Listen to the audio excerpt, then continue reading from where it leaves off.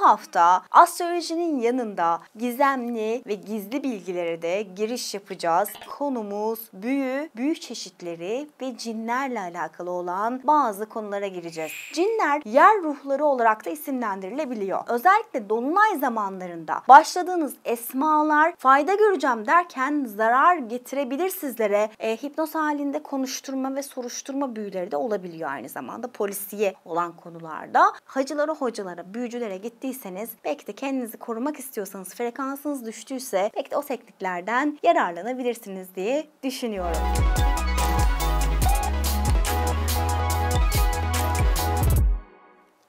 Merhaba sevgili dostlarım. Astrolog Özlem Recep YouTube kanalıma hoş geldiniz. Bu hafta astrolojinin yanında gizemli ve gizli bilgilere de giriş yapacağız. Bu kanalda sadece artık astroloji değil, aynı zamanda gizemlerle alakalı merak ettiğiniz ne varsa artık bulabileceğiniz bir platform hazırladım size ve bu haftaki konumuz büyü büyü çeşitleri ve cinlerle alakalı olan bazı konulara gireceğiz. Abrakadabra falan demeyeceğiz merak etmeyin. Tamamen bilmeniz gereken ve aslına bakarsanız bilerek ya da bilmeyerek akrep ülkesinde olduğumuz için yaptığınız ya da yaptırdığınız bir şeyler varsa biraz fark etmenizi sağlayacak ve ne olduğunu ve korunma yöntemlerini büyülerden ya da böyle bir e, taarruza uğruyorsanız size yapan birileri varsa büyülerden korunma yöntemlerini anlatmak istiyorum size. Büyü aslında tabiat üstü gizli güçlerle ilişki kurularak yahut işte kutsiyet atfedilen ve kendilerinde gizli güçler bulunduğuna inanılan bazı sanki böyle nesnelerle, bazı işte varlıklarla işte birine zarar vermek, birisinin bir şeyden fayda elde etmek ve veya korunmak maksadıyla bazı sonuçlar elde etmek amacıyla yapılan e, aslında işlere söyleniyor ve bu şekilde tarif ediliyor. Büyücü ise iyi ya da kötü metafizik varlıkların yardımı vesilesiyle aslında metafizik varlıkların yardımıyla birlikte kendine has büyü telkinini ve usullerini bilen, tılsımlı sözcükleri bilen, çeşitli iksirleri, muskaları, kısacası uygun malzemeleri kullanarak ve bunlara hakim olan kimselere söyleniyor arkadaşlar. Cin ve sihir kavramları genelde birlikte anılan ve büyü denildiğinde, sihir denildiğinde cin, cin denildiğinde büyü akla gelebiliyor. Bazı büyü türlerinin doğrudan cinlerle yapıldığını da bu alandaki en önemli olan iddialardan bir tanesi. Eski kitaplarda en azından böyle söyleniyor. Bazı kişilere göre cinler yer ruhları olarak da isimlendirilebiliyor. Yer ruhları kendi aralarında çeşitli sınıflara ayrılıyor ama. Yani aslında her yer ruhu ya da cin e, bildiğiniz çeşitte aynı olmayabiliyor. Bunların hayırlıları var, şerlileri var. Mevcut olup işte şerlileri kafir olan cinler veya şeytani olanlar, şeytanlar, hayırlı olanlarına da Müslüman cinler deniyor. İnsanların bunlarla bağlantı kurmaları veya işte semavi ruhlarla aslında bağlantı kurmak isterken bunlarla bağlantı kurmaları biraz daha e, az enerji gerektirdiği için e, yeryüzü ruhlarıyla yani cinlerle irtibata geçmekten çekinmiyor insanoğlu. İnsanlar yeryüzü ruhlarıyla bağlantı kurmaları daha kolay çünkü sevgili arkadaşlarım. Cinler vasıtasıyla çeşitli büyüler yapılabiliyor. Yapmakla beraber yani en azından öyle söyleniyor. Diğer büyü, büyü türleri de bulunuyor. Bu büyü türleri yaygın şekilde aslında kullanan insanlar da var. Bunlar arasında aslında astrolojik büyüler bile bulunuyor. Biliyor musunuz? Astrolojik büyüler ne dediğinizi duyar gibiyim. Nasıl yani? Astrolojik büyü nasıl olabilir? Hepsini anlatacağım size. Merak etmeyin kara büyü, ak büyü ki ak büyünün içinde kimileri Reiki gibi, akses gibi olan tekniklere de sanki insanları şifalandırdığı için beyaz büyü olarak söyleyebiliyorlar ama bu bir tartışma konusu.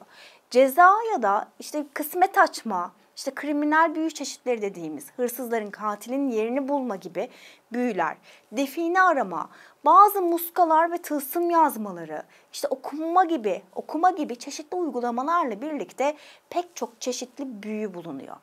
Ehli sünnet alimlerine göre bazı insanlarla cinlerin birbirlerine de sanki bu büyü çeşitleri içerisinde tesir etmeleri mümkün olduğu için ve aynı zamanda havas ve rukiye teknikleri, rukiye teknikleri denilen e, bazı tekniklerden de destek alarak kimileri cinlerle bağlantıya geçebiliyor ve bu saydığım büyü çeşitlerini yapmaya odaklanabiliyor özellikle büyücüler. Burada karanlık anlaşmalar yapanlar bile oluyor sevgili dostlar. Özellikle şeytani olanlarla. Kur'an-ı Kerim'de çoğunlukla Rat suresi, Lokman suresi, Zümer suresi, Cin suresi, Ahzab suresi, Necim surelerin içerisinde geçmekte büyülerle alakalı ve cinlerle alakalı olan detaylar. Peki büyü çeşitlerine girmemi biraz bu konuyu açmamı ister misiniz? Merak ediyorsunuz biliyorum aldatma ve gerçeği başka şekilde gösterilen büyüler var. Hadi biraz onlardan bahsedelim ve pek çok çeşitten bahsedelim. Şimdi aldatma ve gerçeği çeşitli yöntemlerle başka şekilde göstermekle alakalı Kur'an'da Araf suresinde 116 ve Taha suresinde 66. ayetlerinde işaret ediliyor. Yani başka şekilde gösteriyorlar. Aslında gerçekle alakası yok. İkincisi rukiye yani düğümleri üflemek. İlgili kişinin suret ve heykelleri Afrika'da da bu yöntemlerde vudu bebeği yapmakla alakalı bazı özel teknikler var. Kur'an-ı Kerim'de de bu, bununla alakalı Nas suresinde nefesat tabiriyle düğümlere üfleyenlerin şerrinden Allah'a sığınırım. Allah'a sığınılması istenilmekte zaten.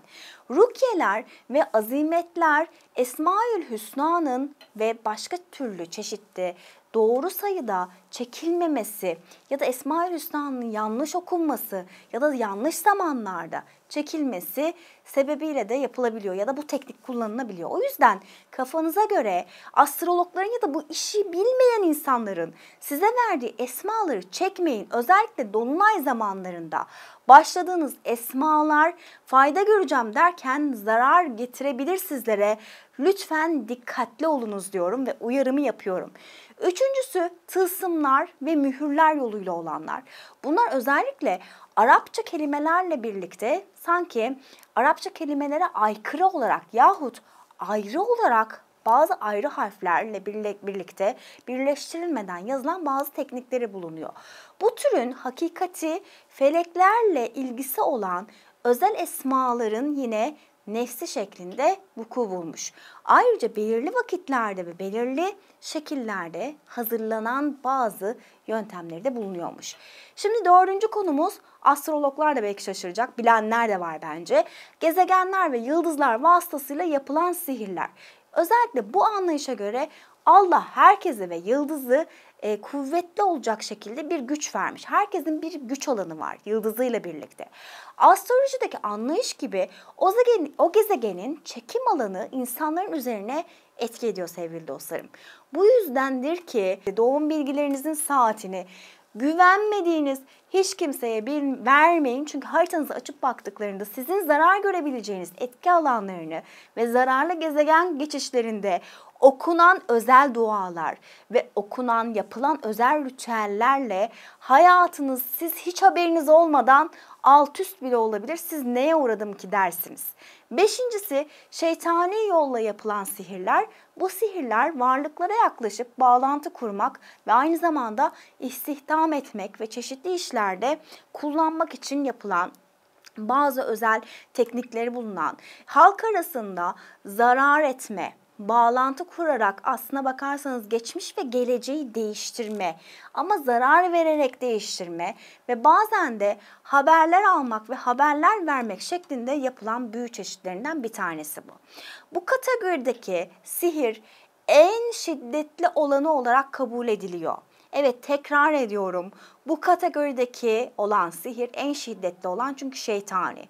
Bu sihir türünde sihir yapanlar şeytanla arasında bir anlaşma ve ritüel yapıyorlar. Kurban ya da anlaşmanın içerisinde bir bedel karşılığında aslında yapılan bu anlaşmanın karşılığında istenilen şey çok kötü bir şey olsa bile yapan ve yaptıranın da yapılanın da üçünün de canının yanacağı büyü çeşitleri içerisine giriyor. Büyü çeşitleri kullanım alanlarına göre sevgili dostlarım oldukça farklılaşmakta aslında demin de bahsettiğim gibi. Buna göre sihri uygulama alanlarına göre de şöyle sınıflandırabiliriz. Şimdi pek çok kişi bunu bence biliyor. Mesela evlilik, işte sosyal büyü deniyor bunlara. Evlilik, kısmet açma, kapanma, işte kısmeti kapatma ya da evlilik problemlerini çözme, evlileri ayırma, özellikle kayınvalidelerin yaptırdığı, işte komşuları yerinden etme, zalimin zulmünden kurtulma. Bu arada çok iyi olan kayınvalideler de vardır eminim ki onları burada öpüyoruz. Zalimlerden intikam alma, kötü kişilerin arasında kin sokmak gibi olan büyü çeşitleri bulunuyor. Tıbbi büyüler bulunuyor bir de. Hastalık teşhisi, genel sağlık, temizlik, farklı şifa operasyonları, ağrıların giderilmesi, işte yılan akrep gibi haşeratlara karşı, haşerat sokmalarına karşı çeşitli tılsımlar, efsunlar olabiliyor. Mesela astrolojik olarak Ay 23 derece yengeç burcundan geçerken bu çeşitli tılsımları yapılabiliyor. Akrep yılanları ve yılanlar ve akreplerin efsunlarıyla alakalı e, aslında güzel e, korunma tılsımları yapılabiliyor. Çocuk hastalıkları ve psikik ve manik psikolojik hastalıklara da aslında değiniliyor bu sürecin içerisinde. Obsesyon. Bazıları buna diyor ki cin musallatı olma. Hastalıkların tedavilerinde de bazı çeşitli büyülerden aslında yararlanıyorlar ama yine burada tehlikeli olan bir şey var. Özellikle Türkiye'de ismini vermek istemediğim bir köyde çocukları hasta olanlar köydeki zavallı çocuklara evet zavallı çocuklara büyü vasıtasıyla kendi çocuklarının hastalıklarını transfer etmek istemişler ve kendi çocuklu kendi çocuklarındaki rahatsızlığı köydeki çocuğa geçirip çeşitli pis ayinlerle birlikte e, aslında kendi çocuklarını kurtarmayı amaçlamışlar. Çok şeytani olan ve kadere teslim edilmeyen insanlar bunlar diye devam ediyorum. Bazı büyü çeşitlerinin içerisinde de evham gönderme gibi işte düşmanını helak etme gibi olan büyü çeşitleri de bulunabiliyormuş. Kriminal büyüler de bulunuyormuş. Hırsızın tespit edilmesi ve cezalandırılması ya da işte kayıp insanların bulunması veya kayıp bir malın, kayıp bir paranın bulunması ve e, kaybolduğu yere getirilmesi gibi e, bazı işte ne bileyim ya da bir paranızın e, korunmasıyla alakalı bir tılsım. Yani o hazineyi kimse açamıyor gibi, o parayı kimse açamıyor gibi e, bazı büyü çeşitleri de bulunuyor. Hapisten kurtarma gibi bazı e, büyü çeşitleri de bulunuyor. Korunma büyüsü denilen bir büyü çeşidi daha var. Kazalar, belalar ve musibetlere karşı olan genel olarak korunma ve korunma ile alakalı çeşitli tehlikelerden korunma olabilir bu. İş yeri ya da tarla ya da depodaki mal veya ürünlerin korunmasını da amaçlayan e, bazı büyü çeşitleri de bulunuyormuş. Bir de Arkeomaji denilen bir büyü çeşidi var. Define arayanlar özellikle bu konuyla ilgileniyorlarmış sevgili dostlarım.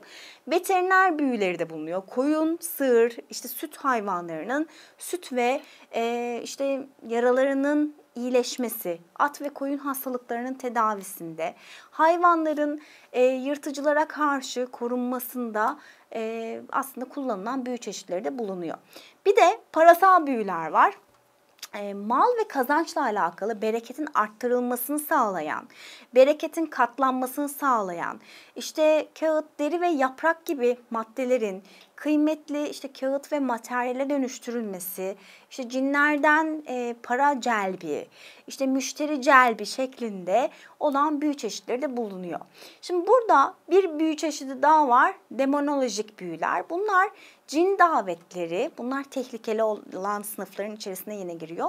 Cin davetleri ve e, sanki bir konuyla alakalı danışma ve haber almak için de yine tehlikeli olanlar sınıfında haber alma büyüleri. Su vasıtasıyla haber alanlardan tutun da bazen bunların en hafifleri aslında istihare, rüyada haber alma ve cinlerden aslında direkt bilgi edinme türünde büyülerde bulunabiliyor. Zirai büyün, büyüler de bulunuyor.